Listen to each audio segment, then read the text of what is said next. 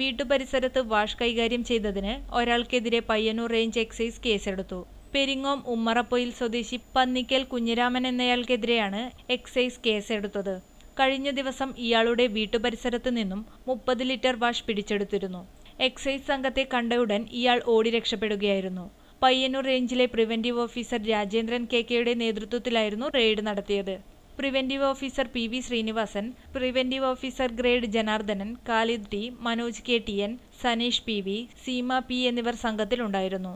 News desk real news Kerala.